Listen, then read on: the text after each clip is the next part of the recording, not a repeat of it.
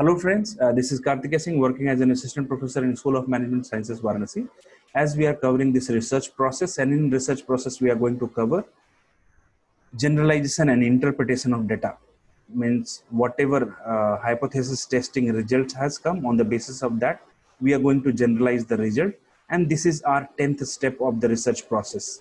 So we will have already covered formulation of research problem, review of literature, development of working hypothesis, preparation of research design, determining sampling design, collection of data, execution of the project, analysis of data, hypothesis testing.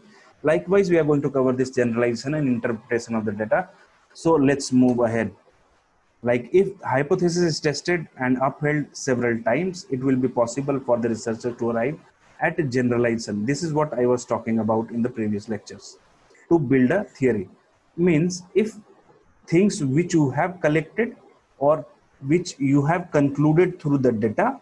And if it is matching with the hypothesis means hypothesis testing is already been done.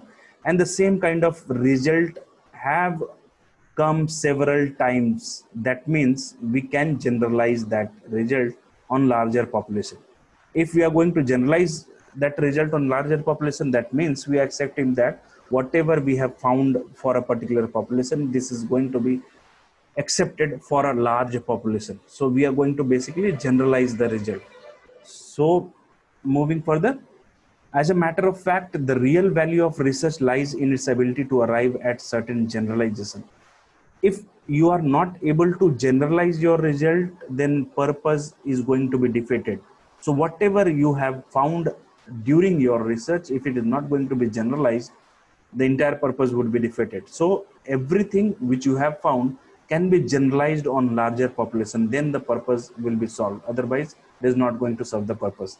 If the researcher has no hypothesis to start with he might seek to explain his findings on the basis of some theory. So if some researcher has not formulated this hypothesis in the third step they may generalize their conclusion with any established theory. So this is this is the researcher's demand means if you haven't done any kind of hypothesis building and then you are expected to match your conclusion with any established theory then only your search is your research is going to be justified. Next comes uh, it is known as interpretation. The entire process is going to be termed as interpretation. The process of interpretation may quite often trigger off new questions which in turn lead to further researches. So while doing this interpretation, few new, new questions may arise and these new questions can be considered as gap for next researches.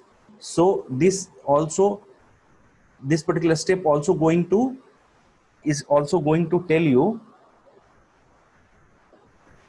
what kind of gap is expected to happen in a particular research and on the basis of that gap how next research is to be carried out.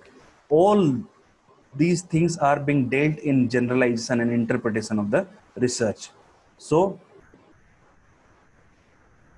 so this is it in terms of generalization and interpretation of the result.